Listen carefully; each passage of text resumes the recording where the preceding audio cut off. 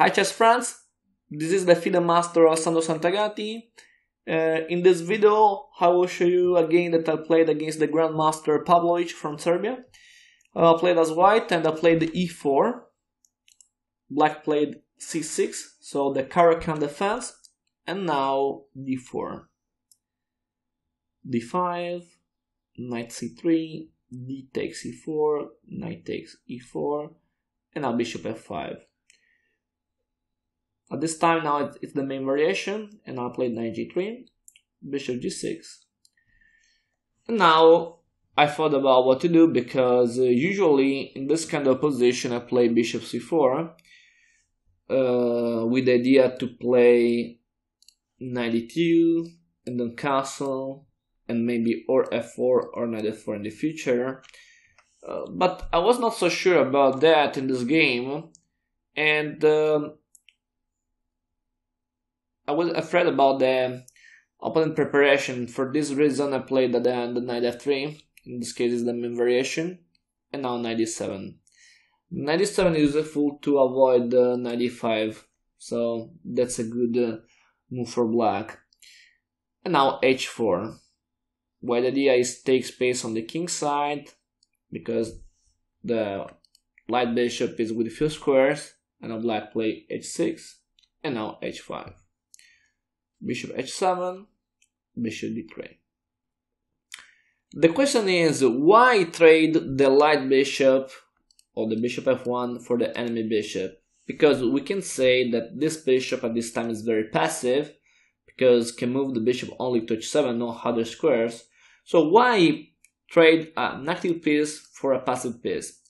In this case, um, um, this move is correct because um, it's very important this kind of position this um, diagonal.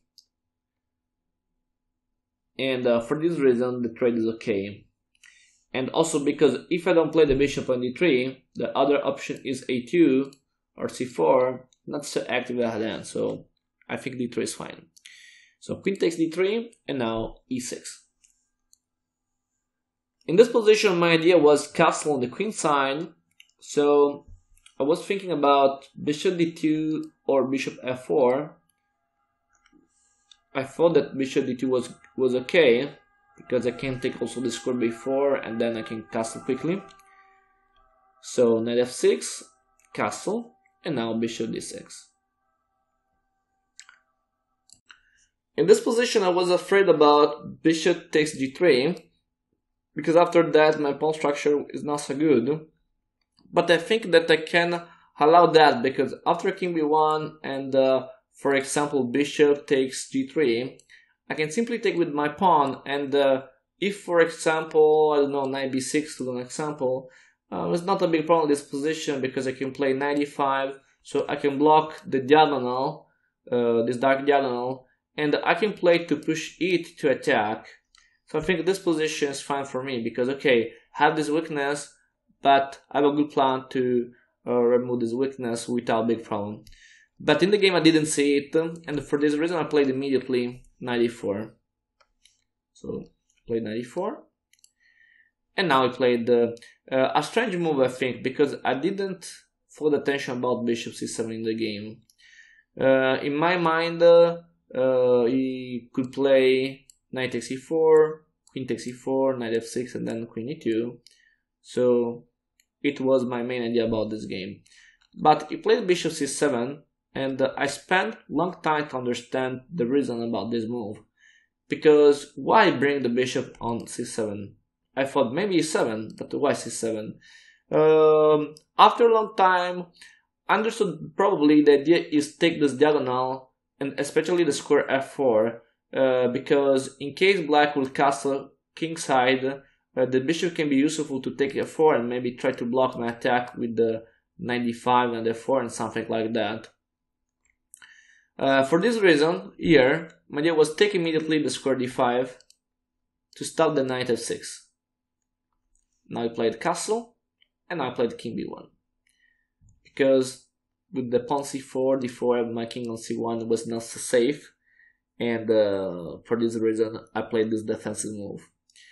Uh, now he played the queen e7. And now is the time to improve my position. I thought about bishop c3, I thought about other moves, but my main idea was play g5, so bring this pawn to g5. And I said, okay, maybe I can play g4, sacrifice it. So I thought about that, g4. But there is a problem because black can simply take, and if I play rook g1, there is a 5. And after f5, the knight is under attack. The knight g4 as a defender. So it's not so good because now there is the pawn f2 to defend. I was not so happy about this position and I didn't play it for this reason. My second idea was rook dg1. But there is another problem. Knight g4 can block my push. And I had no idea about how to remove this knight. And for this reason, I didn't play it. I thought about bishop c3, maybe to attack in this diagonal, but I didn't like it because I thought that this bishop can help me in this diagonal. Maybe not now, but in the future for sure, is 2 g5, is 4 f4. Okay, so at the hand I played the rook h4. The idea is that this move can allow me to push d4, but at the same time this move can help me to have a better defense on the center so a very interesting move this. Now rook fd4, sorry, rook fd8 to attack the d4 pawn, and also to allow something like that, so this knight now can jump, and it can be dangerous. And for this reason now, I took the knight on f6. Now, if black will take with the knight, I can push g4 and I can go forward with my attack. If black play queen takes f6 and it was the Pavlovic move my idea was simply play queen e2 because the problem is knight c5 or knight e5 black can do but with queen e2 I can avoid the spread and now the next move my next move could be g4 and then g5 so that's interesting Okay, now my idea is clear to attack the king, and black uh, has to find a plan to counterattack. And to do that, Pavlovic played b5. This move is very interesting because I cannot take the pawn because if I take c takes, d5, c takes b5, uh, there is the intermediate move queen f5 check. The king is under attack, so I have to play king a1. And after that, queen takes b5 and black is fine. Now black can attack.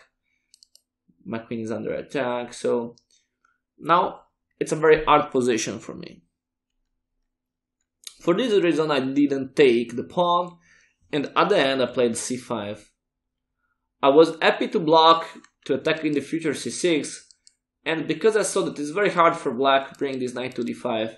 Because for sure, a knight on d5 is very strong for black but the problem is how bring the knight. To the next example, if queen e7, not a big problem because I can go forward with h4, and now then g5, so not a big problem if black knight can go to, to, F, to d5 in this case. Um, and the black played e5 to attack immediately my pawn structure on the center, because if black removes d4, could, it could be possible uh, take c5, and it's interesting for him I defend the pawn. He took, and now I took with the rook. Take with the rook is fine because I can attack with the bishop in this diagonal. The bishop on c3 is strong. My two rooks can help to bring pressure to attack the knight on d7. So uh, this move I think is very nice. There is the discover attack against the queen. And for this reason, black played queen f5. I think is the only move now this is check, so I play king a1, and now rook e8. Rook e8 is interesting, and now the problem is where bring this queen, because if I play queen d2, then knight takes e5, my position I think is very bad. If queen f1, the same thing, so I don't know what to do. In this position, the very strong move for white is knight h4, white is attacking the queen, and I think the only move for black to have a good position is queen g5. I thought about that in the game, but my idea was play queen f3, threaten something like that. So I think knight, f6 is forced. And um, yeah, so it was my my idea. Probably now the position is equal, but yeah. Uh, he, he, he made a mistake now because he played rook takes c2 and after that I think my game is uh, is better because I can make pressure good I can make a good pressure against g7 and uh, I can attack the 7 rank so it's a very hard position for, for black. He played knight f6 to defend his position and I played uh, my my first idea was play knight takes knight takes g7 but I think um, this move doesn't work because black can simply play this move nice intermediate move and now I lose. So uh, I didn't play knight takes g7 and I played a very simple move rook d2 to defend upon f2 easy now rook takes d2 rook takes d2 and now rook e8 rook e8 is fine because my threat is uh, knight e7, knight takes e6. With rook e8, black can avoid this move, at the same time it can threaten checkmate. So I have to pay attention. I played a3 to avoid that, and now rook e1 check, king a2, and knight e4. I can bring my rook in the 7 rank, and now he played knight takes e3.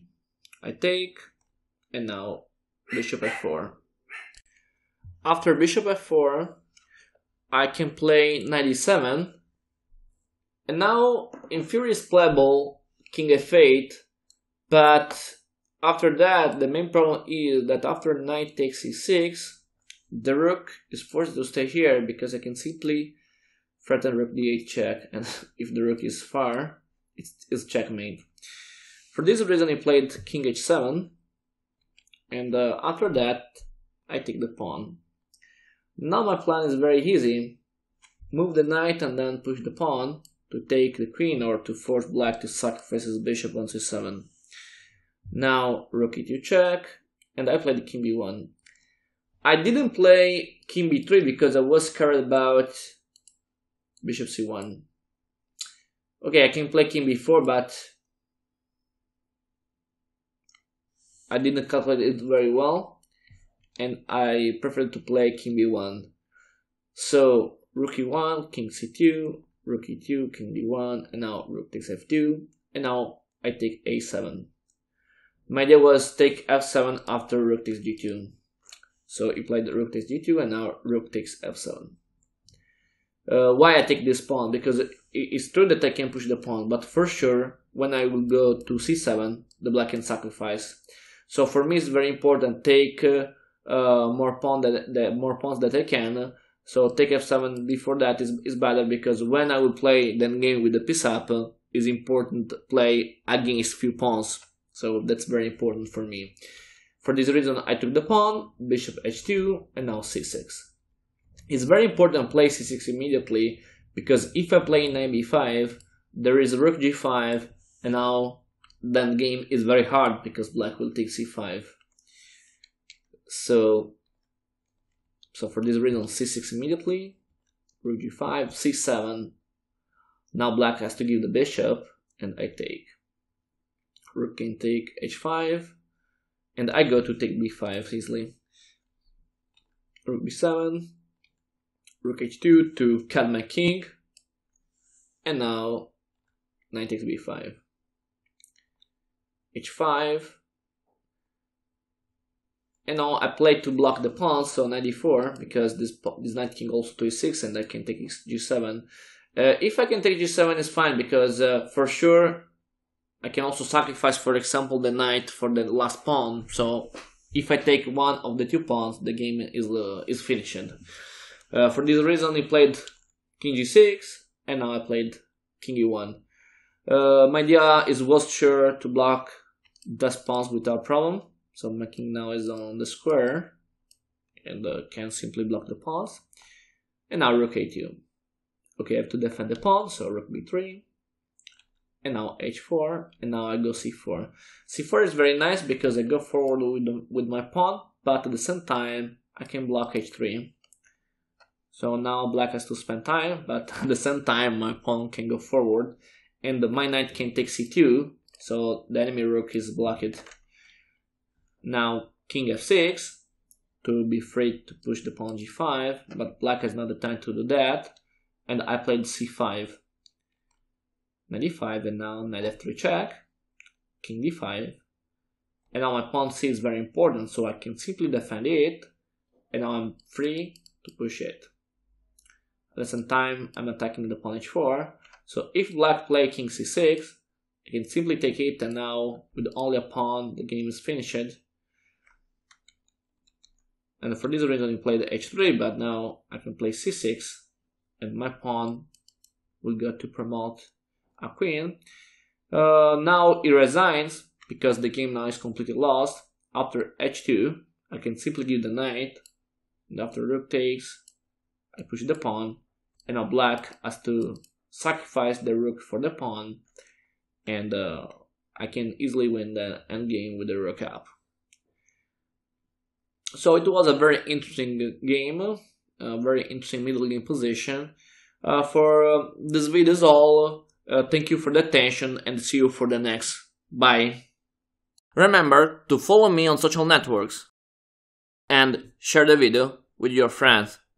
Thanks.